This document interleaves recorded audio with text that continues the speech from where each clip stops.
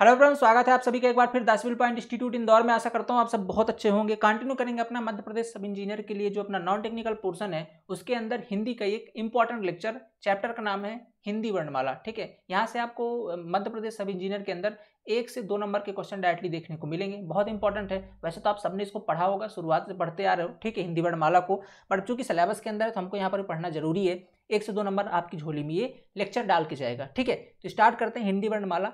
ये मध्य प्रदेश सब engineer special crash course का पहला लेक्चर होगा हिंदी वर्णमाला के लिए, ठीक है? हिंदी वर्णमाला का, ओके? सो, स्टार्ट करते हैं ये, ओके? और इससे पहले आपने हिंदी के काफ़ी सारे लेक्चर पढ़ रखे होंगे। ये चैप्टर अपन ने थोड़ा लाइट लिया हुआ था, ठीक है? पहले के लेक्चर्स में, इसलिए अपन यहाँ पर इसे डिटेल के अंदर कवर कर रहे हैं, ओके? तो स्टार्ट करते हैं आज। क्या होती भाई? हिंदी वर्णमाला है क्या चीज़? ठीक है, आप जानते हो, हिंदी हिंदी क्या एक प्रकार की अपनी भाषा है? और वर्णमाला क्या है? वर्णमाला को अगर समझते हैं, तोड़कर देखते हैं तो वर्ण का मतलब होता है भाषा की सबसे छोटी इकाई, जिसे ध्वनि या वर्ण कहते हैं। किसी भी भाषा की जो सबसे छोटी इकाई होती है, ठीक है, हम यहाँ पे किस भाषा की बात कर रहे हैं? हम यहाँ पे हिंदी भाषा की बात कर रहे हैं, ठीक है? हिंदी भाषा आपके सिलेबस में है। तो हम यहाँ पे हिंदी भाषा की बात कर रहे हैं, उसकी जो सबसे छोटी इकाई है, उसे ध्वनि या वर्ण कहते हैं। ये जो मैं पढ़ा रहा हूँ, इसकी पीडीएफ आपको एप्लीकेशन पर मिल जाएगी। द सिविल पॉइंट ऐप को इंस्टॉल कर लीजिएगा, वहाँ पर आपको क्रैश कोर्स बैच के अंदर ये पीडीएफ कंप्लीट मिल जाएगी, ठीक है? तो भाषा की जो सबसे छोटी इकाई होती है, उसे ध्वनि या वर्ण कहते हैं। किस भाषा की बात कर रहा हूँ मैं? हिंदी भाषा की। उससे समझने से पहले समझना ज़रूरी है कि भाषा क्या है। देखो तो ये जो भाषा है ना, ये भाषा संस्कृत के भाष शब्द से बनी हुई है। किस शब्द से बनी हुई है? भाष शब्द से बनी हुई है। संस्कृत का एक वर्ड होता है भाष, उस शब्द से मिलकर के बनी हुई है आपकी ये भाषा, जिसका अगर मैं सार्थक जिसका अगर मैं अर्थ बोलूँ तो इसका मतलब होता है बोलना, ठीक है? इस भाष का अर्थ हिंदी में होता है बोलना। भाष एक प्रकार का संस्कृत वर्ड है, जिसका हिंदी में अर्थ होता है क्या? बोलना बोलना, ठीक है? क्या होता है? बोलना। भाषा की जो सार्थक इकाई होती है ना, किसी भी भाषा की सार्थक इकाई का मतलब ये होता है जिसका एक सही तरीके से अर्थ निकाला जा सके, ठीक है? उसे बोलते हैं अपन वाक्य। क्या बोलते हैं? वाक्य। जैसे अगर मेरे कुछ बोलना है, जैसे मैंने बोला कि मुझे बोलना है तो इसका कुछ अर्थ निकलता है, लेकिन मैं बोल दूँ अगर कि मुझे, फिर बोलना, अलग बोल दूँ, है अलग बोल दूँ तो उसका कुछ अर्थ नहीं निकला। तो अगर इसका किसी भाषा का कोई अर्थ निकलेगा तो कंप्लीट वाक्य से निकलता है। इसीलिए वाक्य को किसी भाषा की सार्थक इकाई माना जाता है। कि किससे मिलकर बना है ये? भाष शब्द से मिलकर बना है। संस्कृत का एक भाष वर्ड है, जिससे मिलकर के आपका भाषा बना है। और इसका अर्थ क्या होता है? बोलना। और भाषा की एक सार्थक इकाई होती है, जिसे कहते हैं अपन वाक। वाक्य का एक छोटा सा अंग होता है, उपवाक उपवाक का भी एक छोटा सा पार्ट होता है आपका, पदबंध, ठीक है? मतलब वो वाक की एक छोटी सी इकाई होती है, पदबंध, ठीक है? पदबंध से भी छोटी इकाई होती है पद पद से छोटी इकाई होती है, अक्षर। यहाँ पास मैं एक बार सीक्वेंस आपको लिख देता हूँ तो आपको समझ में आएगा, ठीक है? जैसे सबसे बात, सबसे करें एक अगर सार्थक इकाई बात करता हूँ, किसी भाषा की तो क्या होती है आपकी? वाक होती है, ठीक है? क्या होती है आपकी? वाक होती है। फिर वाक का एक छोटा सा भाग होता है, एक छोटा हिस्सा होता है, उपवाक। क्या होता है? उपवाक, ओके? वाक्य का एक हिस्सा होता है आपका, उपवाक, ओके? इसके बाद क्या आता है? उपवाक्य की एक छोटी इकाई होती है, ठीक है? उपवाक्य की भी एक छोटी इकाई होती है, जिसे अपन कहते हैं पदबंध। क्या कहते हैं? पदबंध। इस पदबंध की भी एक छोटी इकाई होती है, जिसे कहते हैं अपन पद, ओके? पद जैसे राम, काम, ये सब एक छोटे, एक पद होते हैं, ठीक है? पद की भी एक छोटी इकाई होती है, जिसे अपन कहते हैं अक्षर। क्या कहते हैं? जैसे अक्षर। अगर मैं राम का एग्ज़ाम्पल लेता हूँ तो राम एक कंप्लीट पद है, लेकिन इसके अंदर जो रा है और माँ है, ये एक अक्षर हो गए। इस अक्षर की भी एक छोटी इकाई होती है, जिसे अपन कहते हैं वर्ण। क्या कहते हैं? वर्ण। इस अक्षर की भी एक छोटी इकाई होती है, जिसे अपन कहते हैं वर्ण। और आज हम इसी वर्ण की बात करने वाले हैं। इस वर्ण को कभी कभी आप ध्वनि भी सुनेंगे। ठीक है? जो मैं बोल रहा हूँ, जैसे मैंने बोला कि आ बोला या का बोला तो ठीक है? तो जो मैं बोलता हूँ, इसका उच्चारित रूप क्या होता है? ध्वनि होती है और उसका लिखित रूप आपका वर्ण कहलाता है। तो अगर मैं यहाँ पास में का को लिख देता हूँ तो ये आपका वर्ण हो गया। अगर मैं इसे उच्चारित कर रहा हूँ तो ये ध्वनि हो गई, ठीक है? तो ध्वनि हो गई। तो ध्वनि और वर्ण दोनों सेम चीज़ होते हैं। उच्चारित रूप ध्वनि है, लिखित रूप उसका वर्ण होता है। ये एक कंप्लीट सीरीज़ है, जो आपको यहाँ पास करनी है, ठीक है? तो अगर यहाँ पास देख रहे हैं तो अगर मैं किसी भाषा की सबसे न्यूनतम इकाई की बात करता हूँ ना, किसी भी भाषा की सबसे छोटी इकाई, आप देख रहे हो सबसे बड़ी इकाई जिसका सार्थक अंक वो तो वाक्य होता है, सार्थक अर्थ निकलता है, वो तो वाक्य होता है, फिर उससे भी छोटी इकाई क्या होती है? उपवाक्य होती है, फिर पदबंध होता है, पद होता है, अक्षर होता है, फिर वर्ण होता है। तो अगर सबसे छोटी इकाई की बात करोगे, ठीक है? जैसे बोले कि न्यू का एक एक ईट, जैसे बोल दो ना कि एक पूरी बिल्डिंग बनी हुई है आपकी, ठीक है? अब बिल्डिंग तो कई सारी चीज़ों से सिविल इंजीनियर हो ना, थोड़ा ऐसा समझाना पड़ेगा, ठीक है? तो अगर मान लो एक पूरी बिल्डिंग बनी हुई है बिल्डिंग में अगर मैं बात करूँ तो बहुत सारी चीज़ें आपने यूज़ करी है, आपने कॉलम्स बनाए बीम्स बनाए, आपने स्लैब डाली, आपने कंप्लीट फुटिंग बनाई है। लेकिन अगर मैं एक यूनिट की बात करूँ, एक सिंगल यूनिट की बात करूँ तो आपकी ब्रिक कहलाएगी, क्योंकि कंप्लीट जो आपने बनाई है, वो क्या एक ब्रिक है? तो अगर मैं सबसे छोटी यूनिट की बात करता हूँ, आपकी बिल्डिंग की तो क्या ब्रिक कहलाएगी? उसी प्रकार किसी भाषा की सबसे छोटी यूनिट क्या कहलाएगी? आपकी वर्ण कहलाएगी, या इसे ध्वनि कहते हैं। लिखित रूप वर्ण, उच्चारित रूप तो आपका ध्वनि कहलाता है। तो ये इसका कंप्लीट प्रोसेस है। अब यहाँ समझ में आ गया ना वर्ण। तो देखिए, भाषा की सबसे छोटी इकाई क्या है? ध्वनि या वर्ण कहलाती है। ध्वनि वर्ण का उच्चारित रूप है, ठीक है? और ध्वनि उच्चारित या कथित रूप है। और वर्ण जो है तो ध्वनि का लिखित रूप है, ठीक है? वर्ण जो है तो ध्वनि का लिखित रूप है। वर्णमाला किसे कहते हैं फिर? वर्णों के व्यवस्थित समूह को वर्णमाला कहते हैं, ठीक है? वर्णों के, जैसे आपने, भाई, सब अलग अलग वर्ण है, उनको एक व्यवस्थित रूप में अपन रख देते हैं। उसको क्या कहते हैं अपन? वर्णमाला कहते हैं। तो वर्णों के व्यवस्थित समूह को क्या कहते हैं अपन? वर्णमाला कहते हैं। यहाँ तक कहानी क्लियर है। यहाँ तक कोई दिक्कत नहीं। अब आगे देखिएगा। अब ये वर्णमाला होती कितनी जहाँ जहाँ क्वेश्चन आपसे बनते हैं।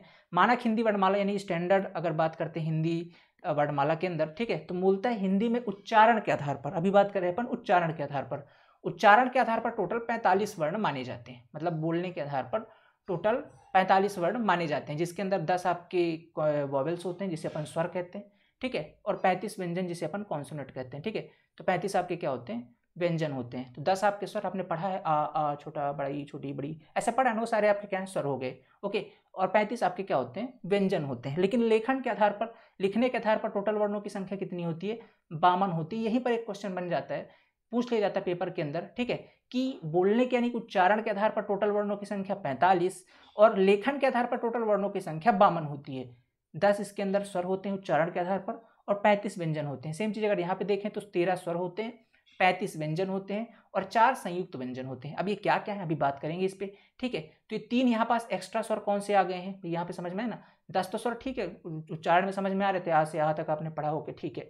यहाँ पास ये तीन स्वर कौन से एक्स्ट्रा आ गए हैं? और ये पैंतीस व्यंजन तो ठीक है, ये चार संयुक्त व्यंजन क्या है? इनके बारे में अभी थोड़ा सा समझते हैं। बाकी फ़िलहाल याद रखिए, बामन होते हैं जिसके अंदर तेरह स्वर हैं, पैंतीस व्यंजन और चार संयुक्त व्यंजन है। और उच्चारण के आधार पर दस और पैंतीस का आंकड़ा है। यहाँ तक कहानी क्लियर है? कोई डाउट नहीं ना? चलो अब आगे देखते थोड़ा स्वर स्वर को समझ लेते हैं। ये आपके सामने स्वर लिखा हुआ है कंप्लीट स्वर, ठीक है?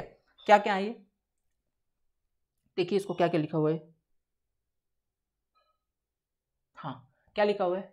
आ आ, ई ई, उ फिर ये ऋषि हो गया, ए ए, ओ ओ अन आहा अगर मैं उच्चारण के आधार पर बात करता हूँ तो जो आपको ये ब्रैकेट के अंदर दिख रहे हैं ना, इनको उच्चारण के आधार पर शामिल नहीं किया जाता है, ठीक है? मतलब आ से लेकर के अ तक ये आपके उच्चारण के आधार पर दस होते हैं, आप गिन सकते हो ना, ये तीन ये तीन छः और ये आपके चार दस, ठीक है?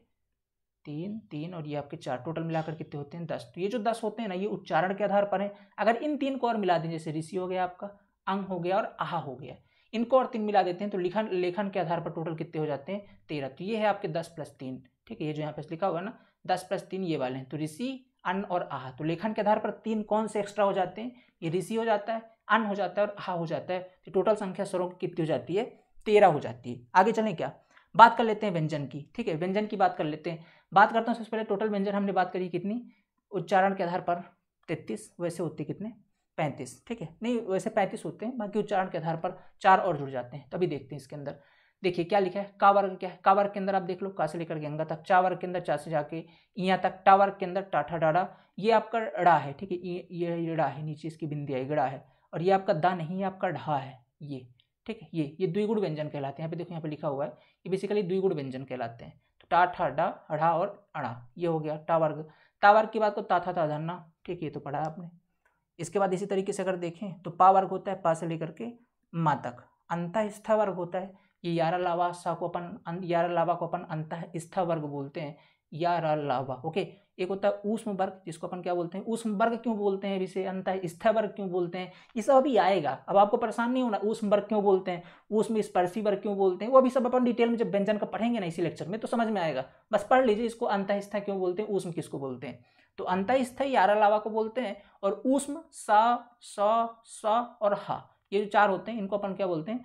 ऊष्म वर्ग बोलते हैं। तो टोटल अगर देखा जाए तो होते हैं तैतीस। दो जोड़ लेते हैं अपन जो द्विगुण है, ठीक है? द्विगुण व्यंजन है ना जो? डा और ढा। उनको जोड़ ले तो टोटल कितने हो गई? पैंतीस हो जाती है इनकी संख्या। इसके बाद जो आपके चार और बचते हैं, जैसे छा, त्रा ज्ञा और स्रा, ये आपके जो चार हैं, ये कहलाते हैं संयुक्त व्यंजन। क्या कहलाते हैं? संयुक्त व्यंजन। ओके, जैसे क्या क्या अब ये छा, संयुक्त क्यों बोलते हैं? क्योंकि दो से मिलकर बने हैं। देख सकते हैं ना, ये जो आपका छा छत्री है, आपका क और सा से मिलकर बना हुआ है।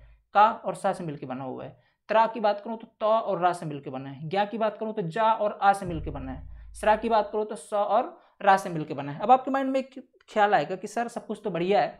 एक बात समझाइए, आपने ता के नीचे हलंत क्यों लगाया? जा के नीचे हलंत क्यों लगाया? देखिए, अगर मैं इसको सिंपल ऐसे जा लिखता हूँ ना, ऐसे अगर मैं जा लिखता हूँ या कुछ भी लिखता हूँ, मैं जा लिखता हूँ, का लिखता हूँ तो इसका मतलब ये कि इसके अंदर एक स्वर बैठा हुआ है। जैसे आपने बोला, का। तो आ की साउंड आई ना तो किसी भी व्यंजन को उच्चारित करने के लिए आपको स्वरों का सहारा लेना पड़ता है। ठीक है, पर अपन जब इसको लिखते हैं तो अगर आपको ओरिजिनल सिर्फ़ व्यंजन लिखना है तो आप ऐसे लिखेंगे, जा के नीचे हलंत लगा देंगे। इसका मतलब इससे आ खींच के निकाल लिया गया है, ठीक है? इससे आपका आ खींच के निकाल लिया गया ये ओरिजिनल व्यंजन है। तो कभी भी ओरिजिनल व्यंजन को लिखेंगे तो नीचे हलंत लगा देते हैं। तो वही चीज़ लिखे कि ये का और सा का मिश्रण है, इसलिए इसको छा बोलते हैं। का मतलब शुद्ध व्यंजन का, उसका और सा का मिश्रण है। ऐसे ही आप ता की बात करो तो ता और रा का मिश्रण है ज्ञा की बात करो जा और आ का मिश्रण है इया का मिश्रण है और सा और इसका मिश्रण ठीक है? तो इसलिए अपन इस तरीके से इसको बोलते हैं संयुक्त व्यंजन। इनकी संख्या उठी टोटल चार, ये टोटल हो गए पैंतीस तो पैंतीस और चार कितने हो गए? उनतालीस हो गए, ठीक है? ये पैंतीस सौ चार कितने हो गए? उनतालीस हो गए ना। ये उनतालीस, और ऊपर कितना पढ़े? तेरह सौ पढ़ ली टोटल कितने हो गए? बावन। तो लेखन के आधार पर बावन होते हैं, और वैसे अगर देखा जाए, संख्या के आधार पर तो ये संयुक्त व्यंजन को उच्चारण के आधार पर नहीं लिया जाता है। टोटल ये पैंतीस हो गए, और वहाँ पर तीन जो थे, तीन आपके कौन कौन से थे? तीन आपके थे ये वाले स्वर में, ठीक है? ये ऋषि, अंग और आहा, इनको नहीं लिया जाता तो दस ये वाले ले लेते हैं। तो ये दस, और वहाँ पास जो पैंतीस है, इनको मिला करके उच्चारण के आधार पर कितने हो जाते हैं? पैंतालीस। ये वाले पैंतालीस हैं। और लेखन के आधार पर क्या एक्स्ट्रा आ गया है? ये वाले तीन एक्स्ट्रा आ गए ये ये और ये तीन एक्स्ट्रा आ गए हैं। ठीक है? और इसके अंदर ये चार संयुक्त व्यंजन एक्स्ट्रा आ गए हैं। छा, त्रा ज्ञा और स्रा। टोटल मिला करके बावन प्रकार के लेखन के आधार पर। तो यहाँ तक कहानी क्लियर है। कौन कौन सा क्या होता है? कोई दिक्कत नहीं, कोई डाउट नहीं। आगे चलें अब। अब इसके बाद कुछ विदेशों से भी आ, आ जाए हैं जैसे ठीक है अरबी फारसी लोग आए जब हमारे देश में तो कुछ अपनी संस्कृति भी लेकर के आ गए। जानते वो काफ़ी समय तक हमारे देश में मुगलों ने राज किया ठीक है मुस्लिम शासन रहा। तो उनसे कुछ शेर व शायरी आप जानते हैं मुस्लिम के जो शेर व शायरियाँ काफ़ी प्रसिद्ध होती हैं तो उनको अच्छे अल्फाज यूज़ किए जाते हैं। ठीक है अब तो अल्फाज मैं नहीं बोल रहा अल्फाज वहाँ पे आपको आफ जा ऐसे मिलते हैं ना तो लोग जो वर्ड यूज़ करते हैं ना उसके अंदर एक विशेष प्रकार के कुछ और वर्ड आते हैं जैसे जॉ। अभी नॉर्मल हमारा वाला जा नहीं है इसके नीचे एक ये लगाओ अल्फाज। इस जो आता है ना, ये वो वाला जा है। तो ये जा हो गया, ऐसे एक होता है फा, ठीक है, ये फा, इसके नीचे ऐसे लगा हुआ है। तो ये जो दो वर्ड है, जा और फा, ठीक है, ये ये भी दो प्रकार के इसके आगत व्यंजन बोलते हैं, ठीक है। तो अगर उनके विदेशी जो ग्रहित ध्वनिया उनके हिसाब से अगर देखते हैं तो टोटल व्यंजनों की संख्या दो और बढ़ जाती है। तो कितनी हो जाती है टोटल सैंतीस हो जाती है। तो क्वेश्चन दो प्रकार से पूछ सकता है कि विदेशों से आगत ध्वनिया को मिलाकर के टोटल व्यंजनों की संख्या तो सैंतीस होती है। वैसे पूछ ले कि लेखन के आधार पर टोटल व्यंजनों की संख्या तो उनतालीस होती है। वैसे पूछ ले कि उच्चारण के आधार पर टोटल व्यंजनों की संख्या कितनी है तो पैंतीस होती है। कन्फर्म कोई डाउट नहीं ना? एक बार और समझ लो।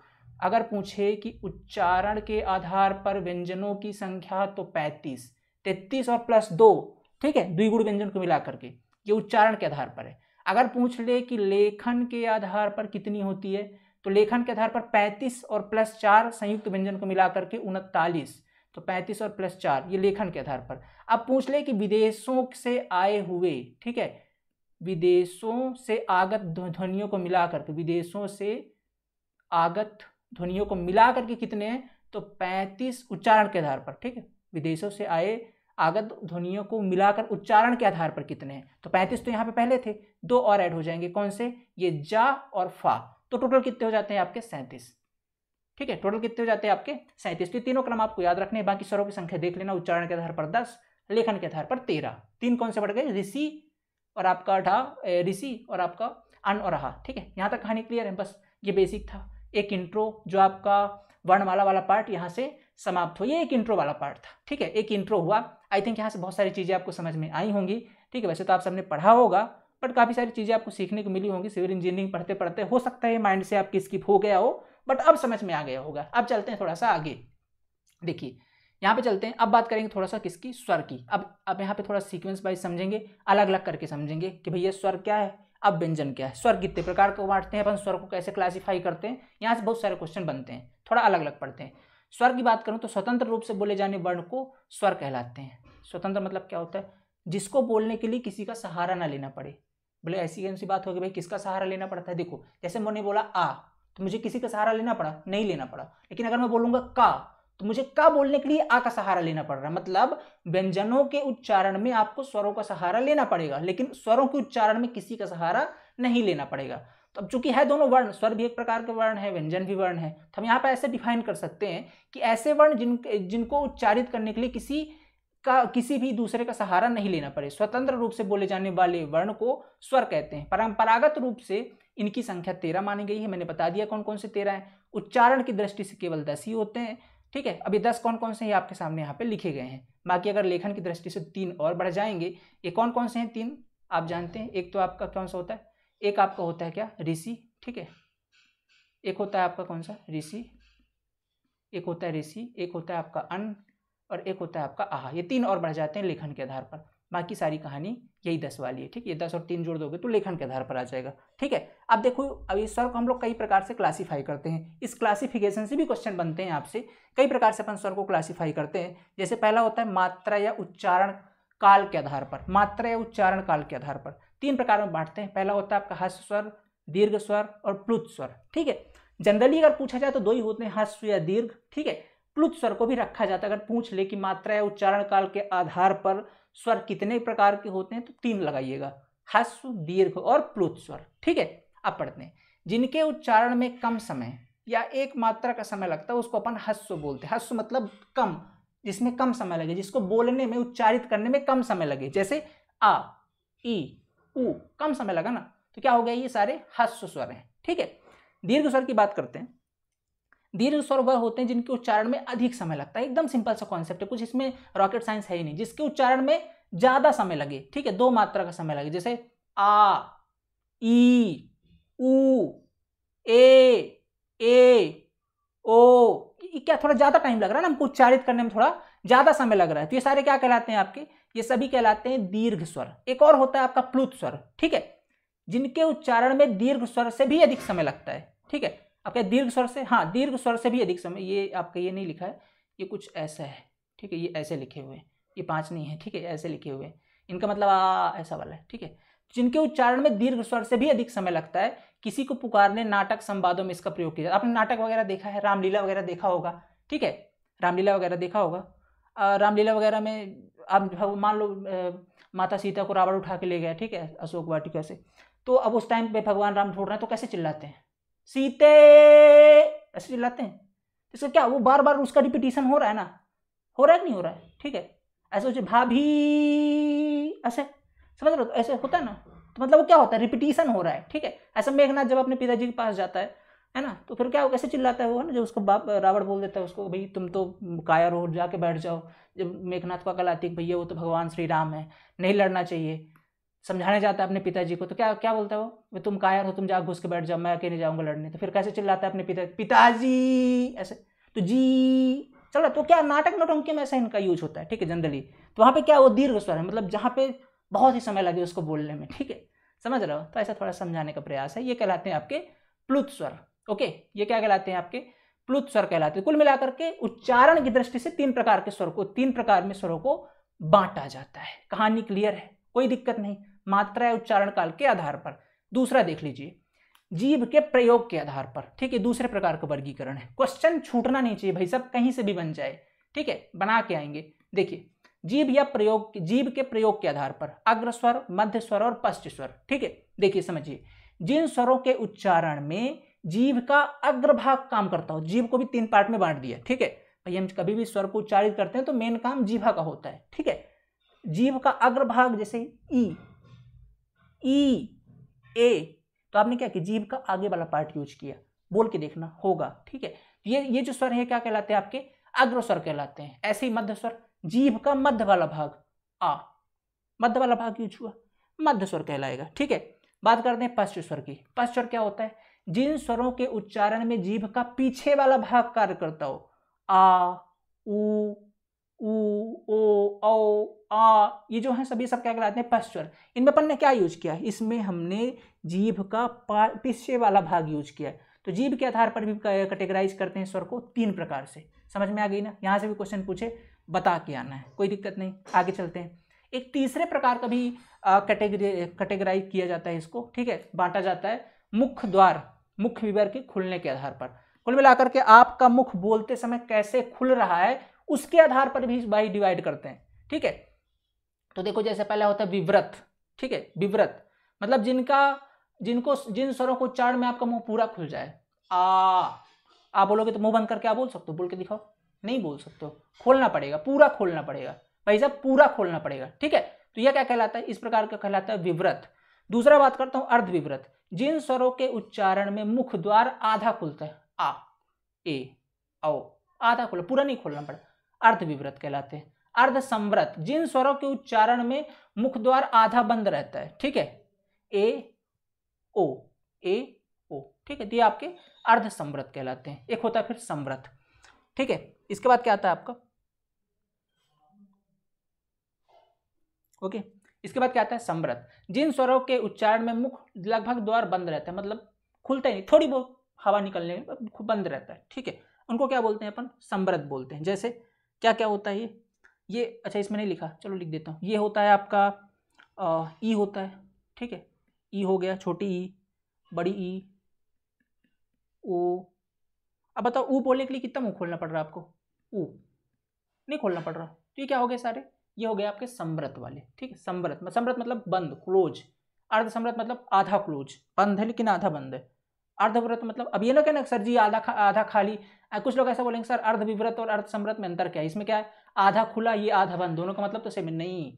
आधा खुला का मतलब जैसे पूरा खुला था तो अब आधा खुला है उसका आधा खुला खुला है. पूरा बंद था तो थोड़ा सा खुला है. समझ रहे हो ना? ये मतलब है दोनों का. दोनों का मतलब सेम नहीं है ठीक है? दोनों का मतलब सेम नहीं है मतलब इसमें आधा बंद रहता है और इसमें आधा खुला रहता है, दोनों में डिफरेंस है, समझिएगा, ठीक है? इसमें आपने आधा बंद किया है, उसमें आपने आधा पूरा खोल दिया मतलब मुँह आधा खुला हुआ है, दोनों का मतलब अलग है। तो ये क्या है? ए, ओ, और ये आपका आ, ए ओ और आ, ठीक है? तो ये होते हैं आपके अर्धविव्रत ये होते हैं अर्ध समृत और समृत क्या होता है? जिसमें लगभग बंद ही रहता है, ई ई, उ उ तो याद रख लेना। इनमें बस कैटेगरी याद रखना अर्धविव्रत के अंदर क्या क्या आया? आ, ए, ओ अर्ध समृत के अंदर ए, ओ, ठीक है? ऐसे क्वेश्चन पूछता है कि बताइए ये अर्ध समृत क्या होता है? या कि ऐसा पूछ ले, मुख द्वार के खुलने के आधार पर स्वरों को कितने भाग में विभाजित किया गया है? तो आंसर बताइएगा, चार भागों में। ये जो मैंने सामने आपके टेबल ओपन कर रखी है, ये डायग्राम ओपन कर रखा है, ये बेहद इंपॉर्टेंट है। यहाँ से आपको डायरेक्टली क्वेश्चन देखने को पेपर में मिलेंगे, ठीक है? तो आपको इनको तो याद रख लेना कि तालू से उच्चारित होने वाले स्वरों के नाम बताइए कौन कौन से हैं, ठीक है? तो ये जो है तो आपको याद रखने ही रखने, चाहे कुछ ही हो जाए, ठीक है? ये वर्ण जो है तो कौन कहाँ से उच्चारित होता है, बहुत इंपॉर्टेंट है। देखिए, सबसे पहले देखिए नासिका। नाक से उच्चारित होने वाले। अंगा, आ या ड़ा ना, मा। ठीक है, जो लोग नाक से बोलते देखना। इया तो आप इया में क्या थोड़ा आपकी नासिका पे ज़ोर पड़ रहा है। ठीक है, समझ रहे हो ना? अंगा अया ड़ा ना, मा, ये सब नाक में ज़ोर पड़ रहा है तो ये नासिका से उच्चारित होने वाले हैं। ठीक है, दूसरी बात कर लें, दंत मूल। दंत से उच्चारित होने वाले जिनको वर्ष बोलते हैं। ला ला, रा, ला। ठीक है, ये सब आपके दंत मूल होते हैं। फिर एक होता है आपका दंत।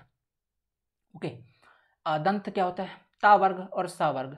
जैसे ता बोल के दिखाओ, ता, था, दा, सब में आपको दांत का स्पर्श होगा। सा के वाला जो वर्ग है, ठीक है? तो ये जो होते हैं, आपके क्या हैं? दंत से इस पर दंत से कहलाते हैं। इसमें कंप्लीट है, कोई स्वर और व्यंजन का नहीं है। कुल मिला के बात इतनी है कि वर्णों का उच्चारण, कौन से वर्ण का उच्चारण कहाँ से होता है? तो इसके अंदर स्वर भी है और व्यंजन भी है। तो दोनों इंपॉर्टेंट है, दोनों याद रखिएगा कि कौन सा व्यंजन और स्वर या कि कौन सा वर्ण कहाँ से उच्चारित होता है, बहुत इंपॉर्टेंट है। ये टेबल बहुत ही ज़्यादा इंपॉर्टेंट है क्वेश्चन ये टेबल दे जाएगा आपको, ठीक है? बहुत इंपॉर्टेंट पढ़ लेना अच्छे से। तो देखो, दंत दंत से तावर्ग और सावर्ग। दंत प्लस ओष्ठ ठीक है? दांत और ओंठ से वाह वाह बोलने के लिए आपको ऊँट और दांत दोनों का सहारा लेना पड़ता है। वाह वाह ठीक है? इसके बाद ये क्या फिर? ओस्ट। केवल ओट से तो ऊ ऊ और पा, फा पा तब देख रहे हो ऊँट का सहारा ऊँट चिपक रहे हैं आपका। ठीक है? पा पा पा पा, बोल रहा ना? तो क्या होता है? पा का, दोनों ओठ जब चिपकेंगे तभी निकले पा निकलेगा। ओके? तो ये आपका क्या है? ओस्ट होते हैं। तो बोल के भी देख लेना, बाकी इसमें भी देख सकते हो ऊ ऊ और पा वर्ग तो स्वर्ग पूछे तो ऊ ऊ है और व्यंजन पूछ ले तो पा वर्ग है। इसके बाद ओस्ट प्लस कंठ से, ओ, आओ, लास्ट में मिलाना पड़ता है ओठ को, आम, ठीक है? तो ये होता है आपका ओस्ट प्लस कंठ से। इसके बाद देख लीजिए कंठ से, केवल कंठ से तो आ आ आहा का वर्ग, हा वर्ग, ये जो होते हैं आपके कंठ से निकलने वाले वर्ण हैं। कंठ और तालु तालु ये वाले पार्ट को बोलते हैं। ये जो आपके अंदर वाला पार्ट है, इसको ये वाला पार्ट ठीक है? ये ओके कंठ ये, ठीक है, ये वाले पार्ट को तालु बोलते हैं। ये जो आपके मुँह का ये ऊपर वाला पार्ट होता है, इसको तालु बोलते हैं ओके तो कंठ और तालु से ए ए, ठीक है? ये आपका कंठ और तालु से। तालु से कौन से? कंठ और तालु से कौन से? ए और ए वाला। तालु से कौन सा है? तो ई ई, चा वर्ग, या और सा। ये जो है, इनको कहाँ से निकलते हैं? ये तालु से निकलने वाले हैं, ठीक है? ई ई चा, अब देखो खुद वाइब्रेशन आएगा आपको, जो बोलो खुद वाइब्रेशन आएगा, बोल के देखो, चा चा चा चा बोलोगे तो ऊपर जिप टच होती है तालु से ना, चा, या, सा, है ना? इसके बाद आती है मूर्धा, ठीक? मूर्धा से मूर्ध, यहाँ सर पे ज़ोर आएगा, ऋषि ऋषि, बोल के देखो सर पे ज़ोर आएगा, टा, आया ज़ोर, टा वर्ग पूरा टा, ठा, डा, ज़ोर आ रहा होगा सर पे, सा सा, है ना? तो ये सब क्या है आपके? मूर्धा से हैं। तो ये जो मैंने आपको कंप्लीट यहाँ बताया, ये बहुत इंपॉर्टेंट है, इसको आपको ज़रूर याद रखना है, बहुत इंपॉर्टेंट है, ठीक है? आगे चलते हैं। तो इसके बाद फिर चौथे प्रकार का भी कैटेगरीजन है इसके अंदर, चौथे प्रकार का भी इसके अंदर वर्गीकरण है। ऊँटों की स्थिति के आधार पर, जब हम कुछ बोलते हैं तो हमारे जो ऊँट है ना, वो कहते हैं ना आपने कोई गेम देखा होगा, टीवी के अंदर चला करता था, होठों से बताना रहता है, बोल करके, बोलना नहीं होता, होठों के इशारे से, ठीक है? तो वही वाला हाल है, ठीक है? होंठ भी बहुत कुछ बताते हैं। अव्रतमुखी। अव्रतमुखी मतलब होता है जिन स्वरों के उच्चारण में होंठ व्रतमुखी या गोलाकार नहीं होते हैं। अगर आप बोल रहे हैं तो आपके होंठ गोलाकार नहीं होंगे, नॉर्मल रहेंगे। आ आ, ई ई, ए ए, कुछ हुआ? नहीं हुआ। नॉर्मल तरीके के होंठ है हमारे, ठीक है? ऐसे को क्या बोलते हैं अपन? अव्रतमुखी बोलते हैं। क्या बोलते हैं? अव्रतमुखी बोलते हैं। क्या बोलते हैं भाई? अव्रतमुखी बोलते हैं। दूसरा होता है आपका व्रतमुखी। व्रतमुखी मतलब सीधी सी बात है, जब आप बोलोगे तो होंठ आपके गोलाकार, बोल के दिखाओ, ऊ। ऊ आप नॉर्मल होठ रख के बोल ही नहीं सकते, भाई आपको मुँह ऐसे गोल हो जाता है ना ऐसा गोल गोल। ठीक है? तो ऊ, ओ ओ है ना? तो ये आपके व्रतमुखी तो होठों की स्थिति के आधार पर दो प्रकार से। ठीक है? इनको भी याद रख लेना। आगे देख लीजिएगा। हवा के नाक व मुँह से निकलने के आधार बहुत प्रकार के क्लासिफिकेशन है। एक बार पढ़ लीजिए, एक दो बार रिवाइज करेंगे, याद हो जाएगा। सबसे क्वेश्चन बनते हैं। हवा के नाक व मुँह से निकलने के आधार पर भी है। ठीक है? जैसे मौखिक स्वर या निरुनासिक स्वर बोलते हैं इसको। ठीक है? ये क्या होता है? निरुनासिक। जिन स्वरों के उच्चारण में हवा केवल मुख से निकलती है, ठीक है? हवा केवल मुख से निकलती है, उनको बोलते हैं मौखिक स्वर, ठीक? जैसे आह आप बोलो तो आ निकला ना हवा, आ, ई, और फिर एक होता है अनुनासिक, जिन स्वरों के उच्चारण में हवा मुख के साथ साथ नाक से भी निकलती है, जैसे आपने आ बोला तो नाक में कोई ज़ोर नहीं है, आपका हवा जो है तो नाक से नहीं निकली, केवल मुख से निकली है, लेकिन अगर अनुनासिक स्वर होगा तो आपके हवा आ, नाक से निकली, जैसे आ, नाक से भी आया ज़ोर ना, आ, ई, आया ना नाक पे? ओ तो नाक से भी हवा निकली भाई। अब हवा ही तो है जो ध्वनि को ट्रांसफ़र कर रही है, नहीं जगह अपन बोल रहे हैं तो किसके माध्यम से? जो हवा के पार्टिकल है यहाँ पे। समझ रहे हो? थोड़ा अब यहाँ पे साइंस का कॉन्सेप्ट समझाऊँ क्या? हम जो बोलते हैं ध्वनि का ट्रांसफ़र कैसे होता है? उपस्थित हवा के मीडियम भैया हवा में जो पार्टिकल है, वायु के पार्टिकल हो गए, ध्वनि के पार्ट हवा से कैसे ध्वनि ट्रांसफ़र होती है? जो पार्टिकल हुई पार्टिकल ध्वनि बिना मीडियम के जा ही नहीं सकती है। निर्वात में ध्वनि ट्रैवल ही नहीं करेगी। तो जो हवा में पार्टिकल वही तो ट्रैवल करवा रहे हैं ना। तो हवा निकलेगी तभी तो ध्वनि का ट्रांसफ़र होगा। अब हवा अगर मुँह से निकल रही, केवल मुँह से निकल रही है तो निरुनासिक है या मौखिक स्वर है? समझ रहे हो? केवल मुँह से निकल रही। अब नाक से भी निकल रही तो अनुनासिक है। बस सीधा अंतर है। ज़्यादा है ही नहीं कुछ इसके अंदर। तो अन, औ, ई, आदि, ये सब अभी क्या कहलाते हैं? अनुनासिक स्वर कहलाते हैं। तो इनको भी याद रखना, पाँचवें प्रकार का कैटेगरीजन है। इसके बाद होता है घोषत्व के आधार पर। ये इंपॉर्टेंट है। घोषत्व का मतलब होता है स्वर तंत्रियों में कंपन, जो आपके स्वर तंत्र है ना स्वर तंतु ठीक है? कंठ, ये सब होता है ना आपके स्वर तंतु हैं जो, ठीक है? देखो स्वर तंतु जो स्वर तंतु की लंबाई होती है, लड़कियों की थोड़ी सी ज़्यादा होती है। सॉरी छोटी सी, थोड़ी पतली होती है। समझ रहे हो हम्म?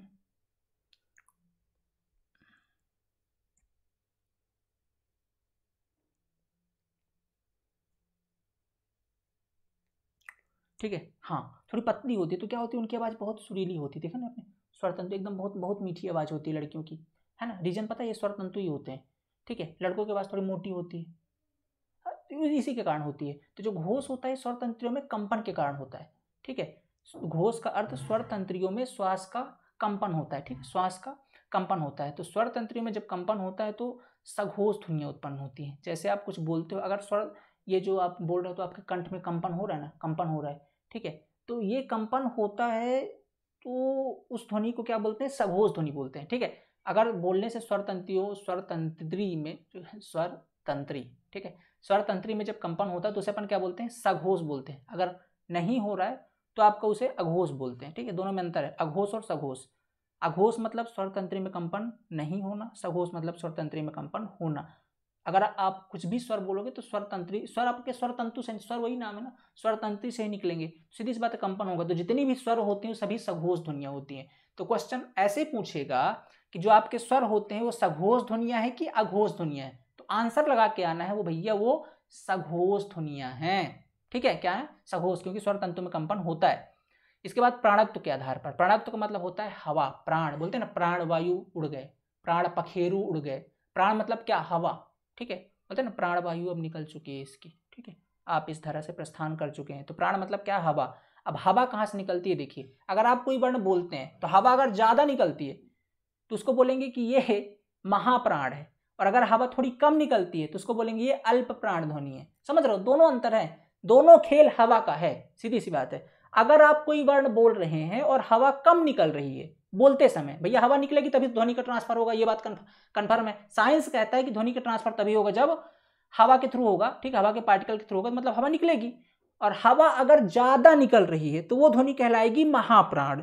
और अगर हवा कम निकल रही है तो वो ध्वनि कहलाएगी अल्प प्राण तो जो आप स्वर होते हैं ना, स्वर को बोलने में हवा कम निकलती है, ठीक है? जस्ट सेकेंड, में थोड़ा चार्ज पे लगा दो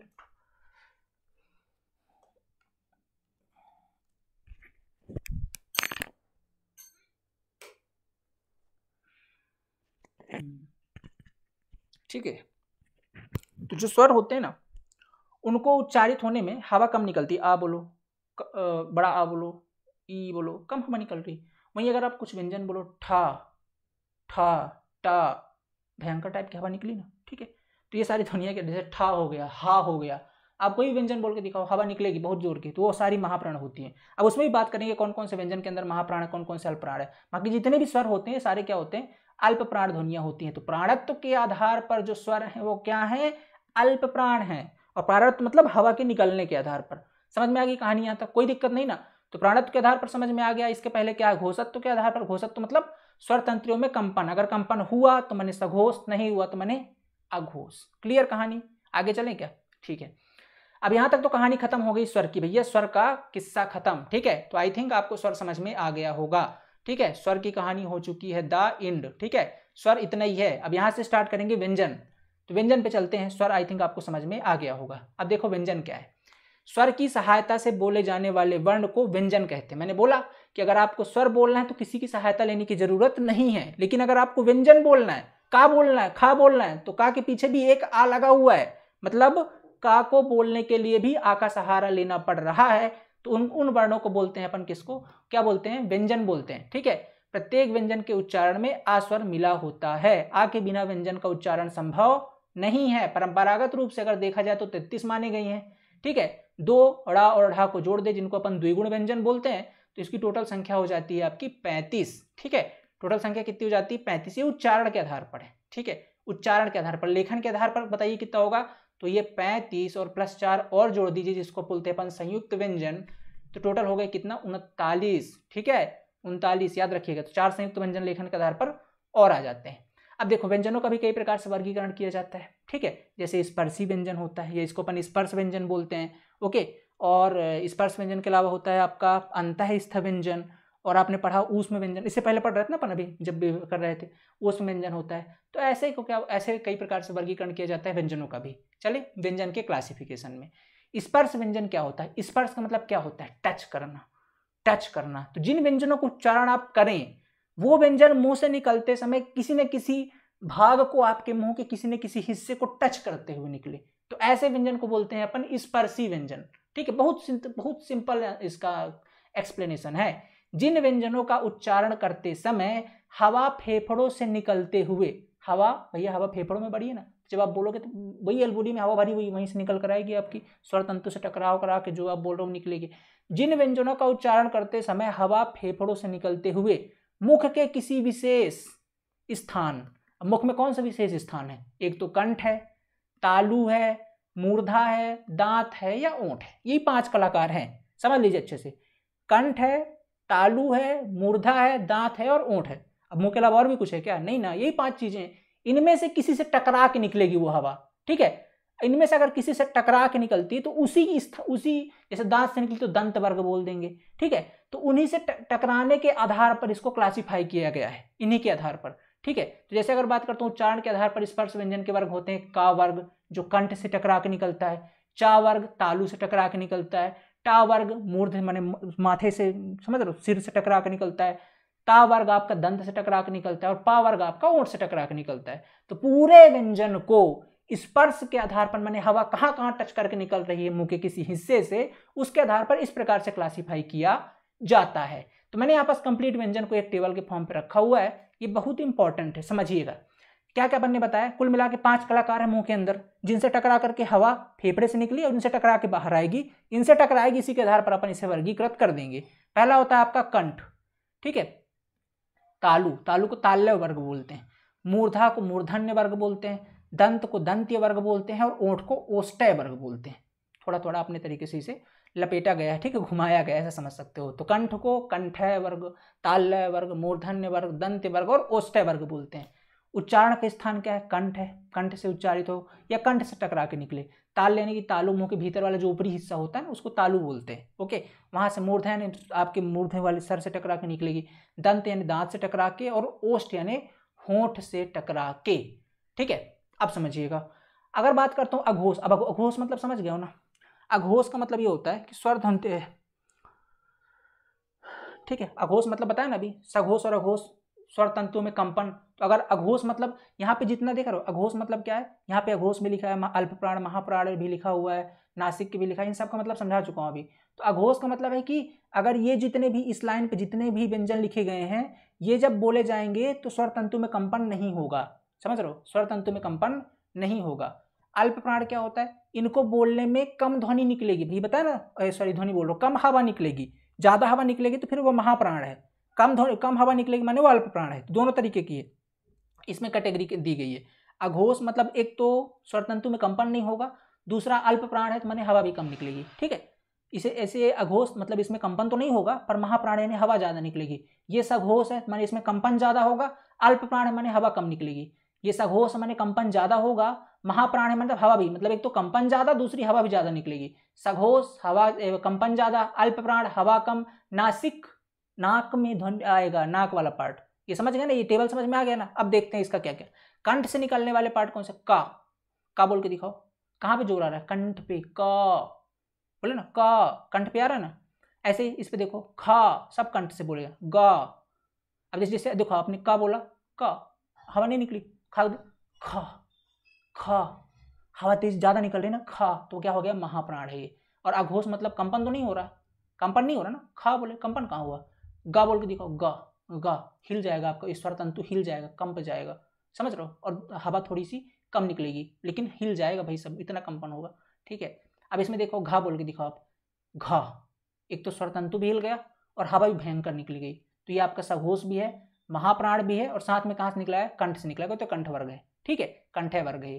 और आपका अंगा अंगा में तीनों चीज़ें हैं, सघोष है मतलब हवा, ध्वनि निकलेगी। अल्प सॉरी सघोष मैंने वाइब्रेशन हो गया, अंगा अंगा। हुआ ना वाइब्रेशन अल्प प्राण है मतलब अल्प प्राण मैंने हवा कम निकली, नासिक मतलब नाक में अंगा नाक में है ना चोर तो ये हो गया अंगा। सेम चीज़ जैसे तालो वर्ग में देख लो, मुँह के तालू से चा।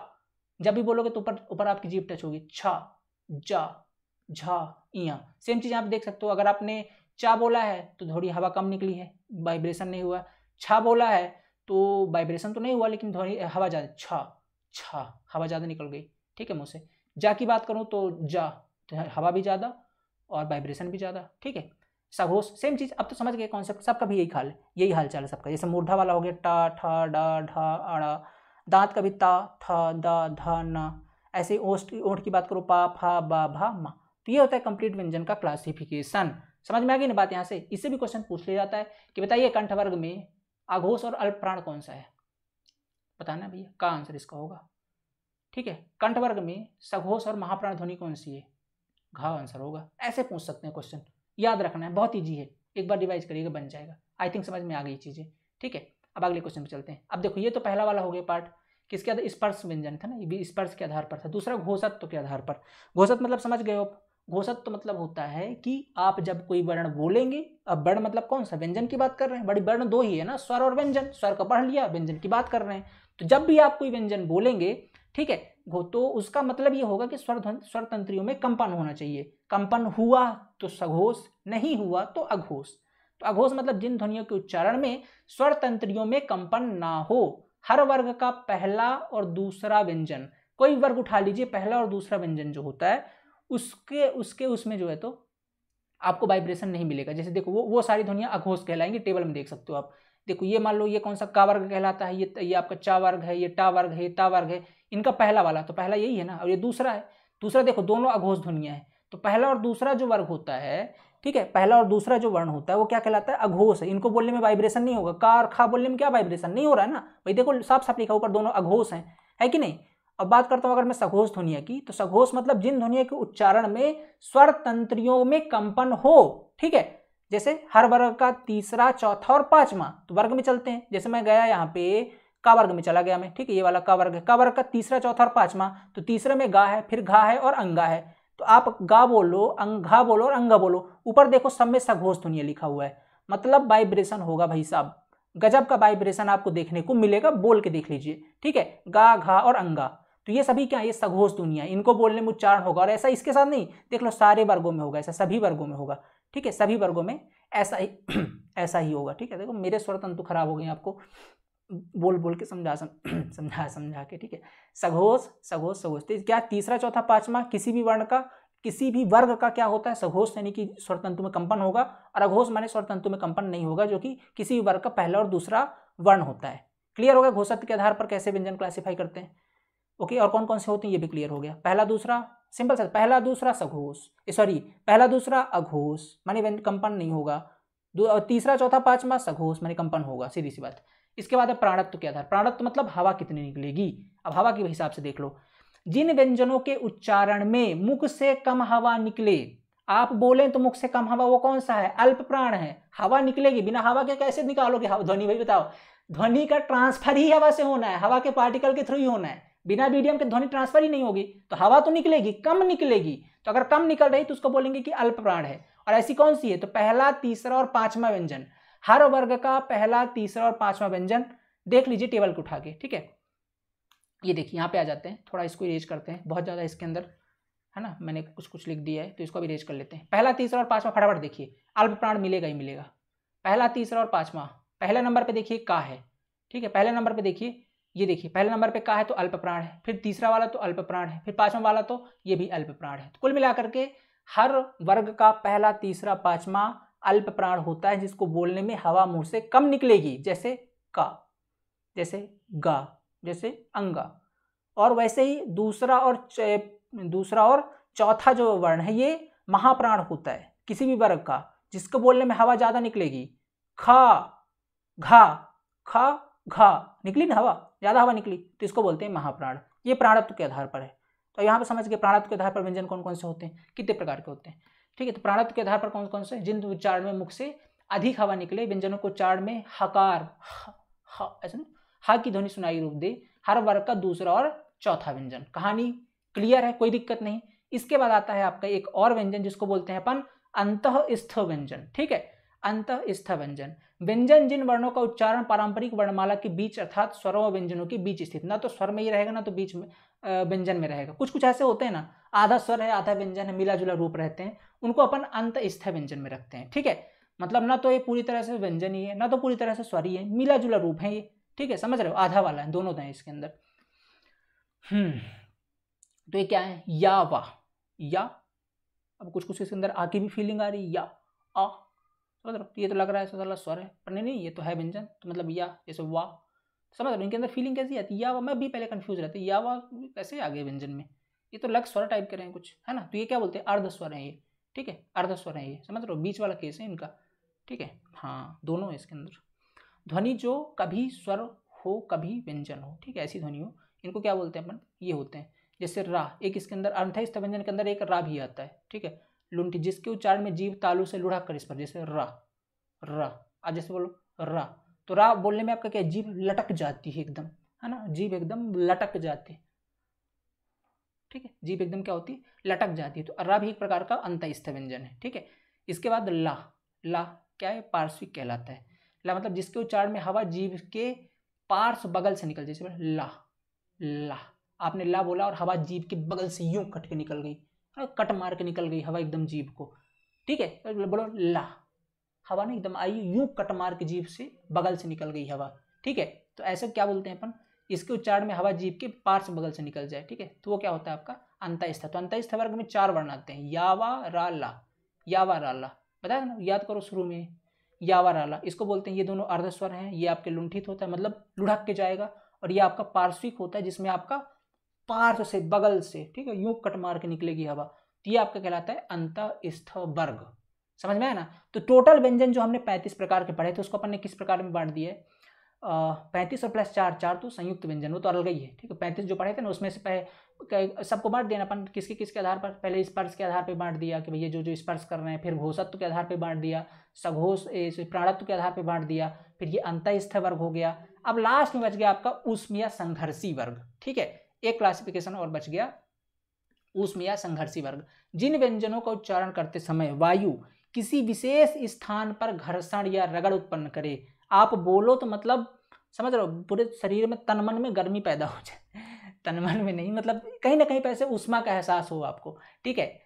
ऐसे रगड़ खा करके निकले, ऐसे को जो समझ रहे उष्मा उष्मी उष्मा पैदा हो जाए उष्मा समझ, संचरण हो जाए, ठीक है? ऐसा नहीं।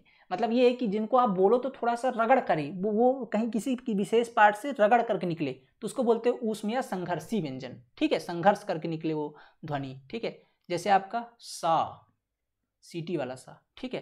फिर आपका ये सटकोड़ वाला सा। ठीक है? सा। फिर आपका सरौता वाला सा। फिर आपका ये हा। ये जो होते हैं, ये ये सभी आपके क्या हैं?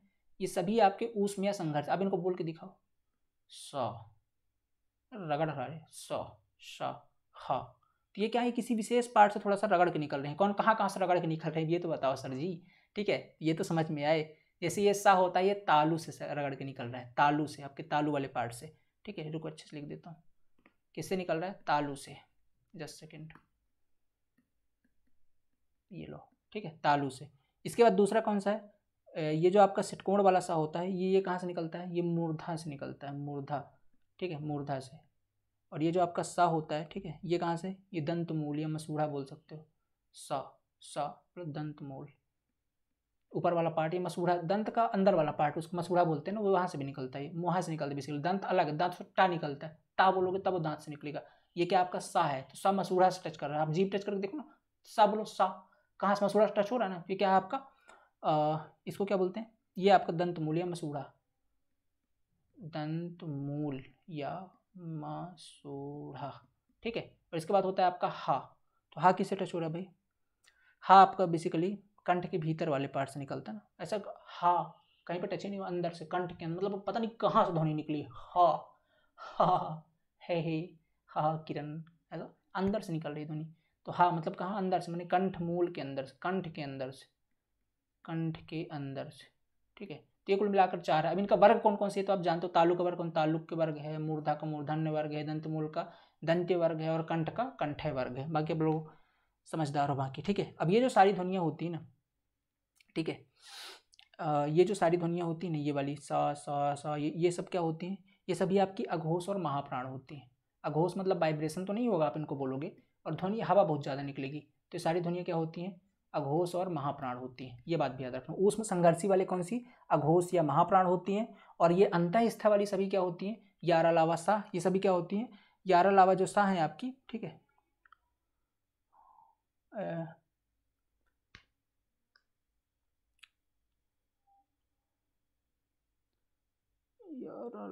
ठीक है। हाँ ये आपके क्या कहलाते हैं? ये आपकी सघोष और अल्पप्राण है। मतलब इनको आप बोलोगे तो वाइब्रेशन होगा, ठीक है? या वाइब्रेशन ना सघोष और आपका अल्प प्राण है। अल्प प्राण, ठीक है? तो ये आपके सघोष और अल्प प्राण है, ओके? तो ये अंतस्थ आपके सघोष और अल्प प्राण कहलाते हैं, और ये आपके उसमें वाले क्या है? अघोष और महाप्राण कहलाते हैं, ठीक है? अघोष और महाप्राण, ठीक है? अघोष और महाप्राण कहलाते हैं, ठीक है? एक और होता है, एक विशेष प्रकार का और होता है, ठीक है? जैसे क्या है? उच्छिप्त व्यंजन जिसको बोलते हैं। क्या बोलते हैं? उच्छिप्त व्यंजन। इसको भी नोट कर लो यहाँ पे, नहीं लिखा हुआ है। चलो मैं अच्छे से लिख देता हूँ इसको थोड़ा सा। हम्म।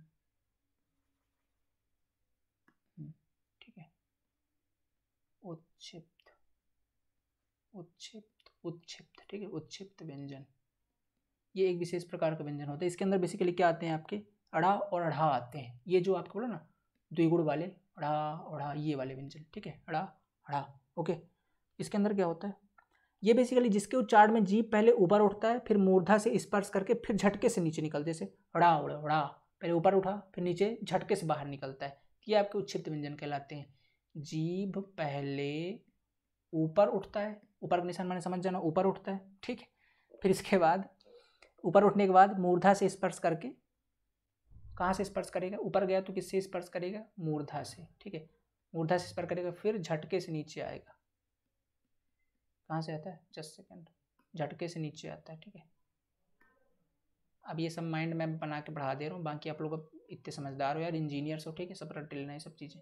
जीभ ऊपर की ओर उठेगा, मूर्धा से टकराएगा और इसके बाद क्या है? झटके से नीचे आएगा, ठीक है? नीचे की तरफ़ आ रहा है, ठीक है? तो ऐसे जब ये व्यंजन निकले तो उसका बोलते हैं अपन उच्छिप्त व्यंजन ड़ा और अढ़ा।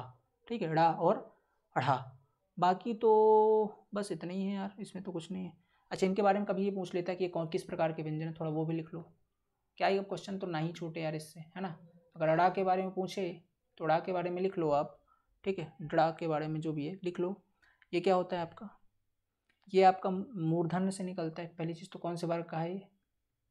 मूर्धन्य वर्ग का है। और किस प्रकार की ध्वनि है ये? सघोष और अल्प प्राण है। सघोष है, मैंने हवा ज़्यादा निकले, ए वाइब्रेशन होगा, और अल्प प्राण मैंने हवा कल्प कम निकलेगी। अल्प प्राण है। ठीक है, ये हो गया। यहाँ तक कहानी क्लियर है। चलो, आगे और देखो। येड़ा हो गया। उड़ा के बारे में भी लिख लो थोड़ा सा। ओढ़ा के बारे में थोड़ा सा और लिख लो। ठीक है? ये भी एक प्रकार का मूर्धन ही होता है। मतलब मूर्ध, सर से ही निकलता है आपके। मूर्धन हो गया। ठीक है, मूर्धन्य वर्ग का है। फिर आपका सघोष होता है। सघोष ध्वनि है। ठीक है? और साथ में महाप्राण। मतलब हवा भयंकर निकलेगी बोलोगे तो ठीक है? महाप्राण। तो ये होता है कंप्लीट इसका, ठीक है? ओके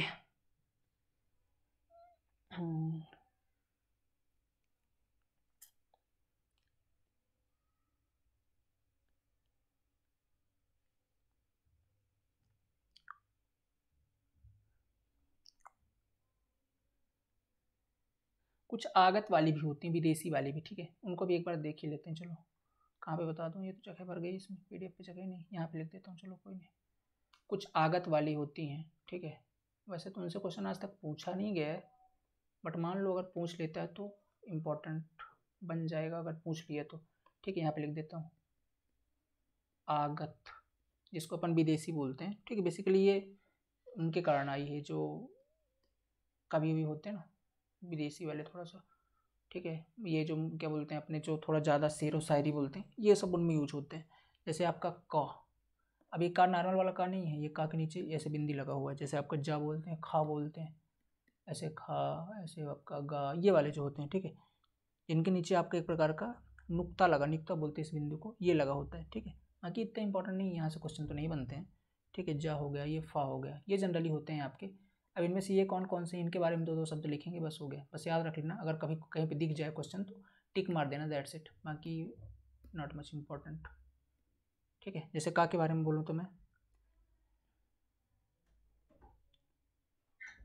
ठीक है, इसके बारे में अगर बोलूँ मैं तो ये स्पर्शी और कंठ होता है आपका। स्पर्शी होता है और क्या होता है आपका? स्पर्शी कहाँ से? कंठ से है। ठीक है। जस्ट सेकेंड ठीक है, कंठ से होता है। अरे, कंठ हाँ ठीक है, कंठ से होता है, ओके। और प्लस अघोष और अल्प प्राण है, ठीक है। अघोष है और अल्प प्राण है। अल्प लिख दिया, अल्प मतलब समझ जाना, अल्प प्राण है। खा की अगर बात करूँ मैं, ठीक है खा की बात करो। बाकी सारे ये जितने सब में ये क्या पता है ऊष्म और संघर्षी है। जितने भी बाकी सब ऊष्म और संघर्षी व्यंजन है। ठीक है समझ में आ रहा नहीं आ रहा? समझ जाना है? ऊष्म संघर्षी सभी ऊष्म संघर्षी व्यंजन। ठीक है सब सारे ऊष्म संघर्षी व्यंजन है। ठीक है बाकी कुछ अलग अलग जगह से जैसे ये दोनों कंठ से हैं ठीक है ये वाले दोनों। ये दोनों आपके कंठ से हैं ठीक है ये वाला भी कंठ से है। कंठ से नहीं चलो आ, ठीक है, ये वाला कंठ से है आपका। यहाँ पे साफ़ साफ़ नहीं दिख रहा है यार। ठीक है, चलो फिर से इसको। कोई नहीं इसलिए दिख रहा है, चलो। ये कंठ से है, ठीक है? और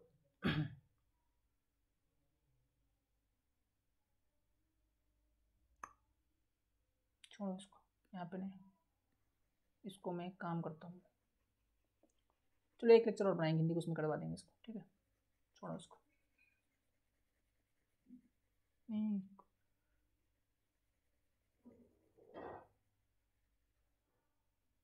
ठीक है बेसिक इतना ही इंपॉर्टेंट है, ठीक है? बाकी वो कभी नहीं पूछता वैसे ठीक है? आगत और ग्रहित दुनिया उतना ज़्यादा इंपॉर्टेंट नहीं है है ना?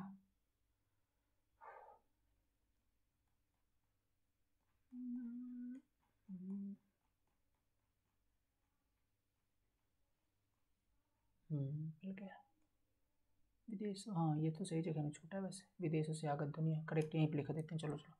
बहुत सही जगह मिल गया। अब है ही लास्ट लेक्चर चलते हैं यहीं पे समझा देते हैं। ठीक है, देखो। आगत और ग्रहित दुनिया और कौन कौन सी होती हैं? जैसे यहीं पे ठीक है, वही टॉपिक चल रहा है। तो पहला तो हो गया आपका का, ख, गा ठीक है? सॉरी घानी, जा होता है। जा और फा, ठीक है?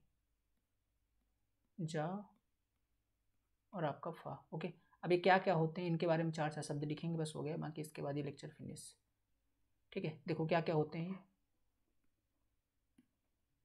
ठीक है। का क्या होता है आपका? का तो आपका क्या स्पर्शी है और कहाँ से होता है कंठ से, ठीक है। पहला वाला बस स्पर्शी व्यंजन है, ठीक है। स्पर्शी बाकी सब ऊस में। अब ऊस में का मतलब तो समझते हो, बोलने में थोड़ा सा क्या होगा? आपको ज़ोर आएगा, स्पर्श करेगा, कहीं नहीं पे घर्षण होगा, ठीक है। उसमें उत्पन्न होगी ख, ग, घ मतलब समझ रहा अंदर से निकलेगा एकदम। तो एक ख बोलोगे तो क्या होगा? अंदर से निकलेगा एकदम, ठीक है। तो ये आपका सब ऊस में है। ये भी आपका में है, ये भी आपका में है, ये भी आपका ऊस में बाकी सारे में बस पहला वाला स्पर्शी था, ठीक है? का के नीचे भी हलंत लगा हुआ है। ये कहाँ से निकलता है? अपन कंठ से है, ठीक है? कंठ से निकलते हैं, ये कंठ है, ठीक है? कंठ से निकलता है, ओके? दूसरा वाला भी आपका, ठीक है? कंठ से है, ठीक है? तीसरा वाला भी आपका कंठ से है, ठीक है? तो तीनों तो कंठ से हो गए। इसके बाद जो चौथा और पांचवा है, ठीक है? एक वर्त से है, ठीक है? वर्त से है और एक आपका तालु से होता है, ठीक है? सॉरी दंतोष्ठ से होता है। दंतोष्ठ ठीक है? एक होता है आपका दंतोष्ठ से दंतोष्ठ है ठीक है? दंतोष्ठ से। अब इनके बारे में चंद शब्द और लिख लेते हैं यहाँ पे। समझ में आ गया ना? वर्ग कौन से हैं ये? ये वत् से वर्ग है, ठीक है? वत् से और ये दंतोष्ठ है। अब ये कौन से वर्ग वर्ग समझ में आ गए अब लिख लेते हैं कि ये किस प्रकार की ध्वनि है? तो पहला तो आपका अघोष ध्वनि है। ये अघोष है, साथ में अल्प प्राण है, ठीक है? अघोष है और साथ में अल्प प्राण। इनका मतलब आप समझते हो, ठीक है? इन सभी का मतलब समझते हो, इसलिए मैं बता नहीं रहा हूँ यहाँ पे अघोष मतलब क्या, अल्प प्राण मतलब क्या है ठीक है? इसके बाद ये आपका अघोष और महाप्राण है, दूसरा नंबर वाला। अघोष है और महाप्राण है, ठीक है? अघोष है और महाप्राण है ओके? फिर तीसरा नंबर आपका क्या है? सघोष और अल्प प्राण है ये। सघोष और अल्प प्राण सघोष और अल्प प्राण ठीक है? इसके बाद सघोष और अल्प प्राण ये वाला भी है, ओके? और फिर ये ये आपका सघोष और अल्प प्राण सघोष एंड अल्प प्राण ठीक है? एंड आपका ये और कौन सा होता है? अघोष एंड महाप्राण। अघोष एंड महाप्राण। ठीक है, अघोष और ये आपका जो है तो महाप्राण, ओके? अघोष और महाप्राण, ठीक है? तो ये तो आपके सारे हो गए, बस इतना याद रख लेना यार, बहुत ही, ये उतना ज़्यादा इंपॉर्टेंट भी नहीं था, बट हाँ कभी कभी अगर पूछ ले तो ठीक है। बस इतना याद रख लेना, बाकी व्याकरण वाला पार्ट आपके यहाँ से हुआ समाप्त, ठीक है? तो आशा करता हूँ आपके बहुत अच्छे समझ में आ गया होगा। इसकी पीडीएफ आपको एच मिल जाएगी। जैसा इसके अंदर लिखा है, ठीक है, वैसे एकदम मिल जाएगी। जो चीज़ एक्स्ट्रा लिखी मैंने, वो भी आप यहाँ से जो है तो इसको देख पाओगे, ओके? तो आशा करता हूँ ये लेक्चर आपको पसंद आया होगा। ये हिंदी का एक बहुत इंपॉर्टेंट पार्ट है। व्याकरण, इसको समझने के बाद ही आप आगे बढ़े एक नंबर का क्वेश्चन यहाँ से पक्का ही होता है, ठीक है, जो हर साल पूछा जाता है। अब इसके बाद हिंदी में वैसे तो अपन ने सारा कुछ कर ही लिया है। हाँ एक चीज़ और बच जाती है, जो कि है आपका हिंदी भाषा का विकास, जो कि खुद में एक बहुत बड़ा टॉपिक है और क्वेश्चन वहाँ से बने नहीं है। तो मैं एक लेक्चर आऊँगा लास्ट में लेकर के, सारा निष्कर्ष लेकर के कहाँ से क्वेश्चन बन सकता है। आधे घंटे का लेक्चर और उसके अंदर निष्कर्ष दस सारा दे देंगे, ठीक है? तो इस प्रकार आपकी हिंदी हो जाएगी कम्प्लीटली फिनिश बहुत अच्छे से पढ़िए, पढ़ते जाइए, कोई दिक्कत हो पूछिए, बताएँगे, ठीक है? बाकी मिलते हैं नेक्स्ट लेक्चर के अंदर। Thank you so much have a nice day